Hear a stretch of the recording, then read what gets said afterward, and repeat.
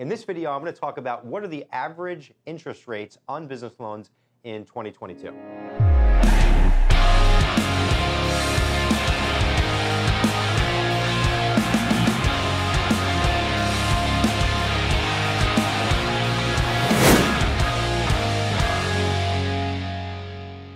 Hey, thanks for tuning in. This question comes up all the time. What's the rate on a business loan? In this video, I'm going to talk about what are the average interest rates on business loans in 2022. This is a very interesting question. There's so many different business loan products out there today, so there's not like a blanket answer for this.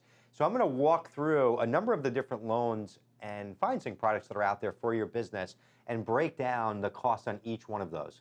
There's bank loans, there's SBA loans, there's non-bank SBA loans, and then there's also fintech and non-bank lenders that are out there. So if you're fortunate enough to actually get a loan from a bank, um, getting a loan from a bank is usually going to be your lowest cost.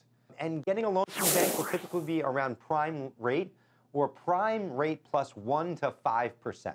So as I make this video, prime rate is around 3.25%. So when I say prime rate plus, let's say 2%, if prime rate is 3.25%, plus 2 would be 5 and a quarter percent. Great deal, great rate. So again, SBA loans are great, long repayment terms. You can use them for working capital, 10 years. You can use them to buy real estate, 25 years. And again, you're looking at prime rate typically plus 1 to 3%. Great interest rates. Um, there's some things that go along with that. You need to be profitable. Um, there's some debt ratios. Um, credit comes into play um, time in business, a number of different things. So the next best thing and lowest rate is going to be um, equipment financing. Um, typically, those rates start at 4%, and they're typically between 4, 6, 8, 10, and 12%. It can go higher depending on risk, depending on your credit, um, and also depending um, on the piece of equipment that you're buying, and also some facts about your business, how long you've been in business, and some other things going on with your business and personal credit. Outside of uh, equipment financing, you've got term loan products, business advances, and lines of credit.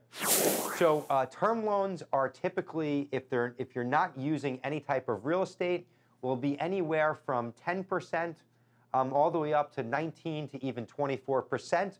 Again, those are based on risk. Um, they're based on your personal credit, your time in business, your industry type, um, your business credit, and then how profitable your business is or is not. So all of those things will fluctuate the interest rate there. Revolving lines of credit, um, you don't need real estate um, for these. They're not. They're non-bank lenders. Um, they're true revolving lines of credit, um, and those will be anywhere from one to two percent per month, depending on what you get approved for and the line. The cool thing about lines of credit is you borrow what you need. If you pay it back, you only pay interest for however long it was outstanding. Those are really great for folks that are constantly buying and selling things, inventory, etc. All right, and then lastly is a business uh, cash advance or a merchant cash advance. These products are not loans, they're actually a purchase of your future sales. Um, they're not personally guaranteed, which is good for you. Um, there are some lenders out there that are really good. There's some lenders that are not. Some of these products can get very expensive. Some of them have come down tremendously over the last few years. Um, the cost on those products will be anywhere from 1.5 to 2.5% per month. Um, and it's really important that you work with the right lender on these. All of these products have a time and a place. If your business qualifies for a bank loan, it's the best deal out there. You should absolutely take it. Uh, most people think, and most business owners actually think, that I only need money when things are going wrong. But it's actually the opposite. When your business is growing fast, you're growing, money's going out the door fast to grow the business, and usually it's not coming in fast enough. So you have to have some sort of um, financing tool in place. Otherwise, you're going to hit a glass ceiling um, and your cash flow is not going to keep up with your growth. We see this every single day in my business. And my business is helping businesses grow by helping them obtain financing.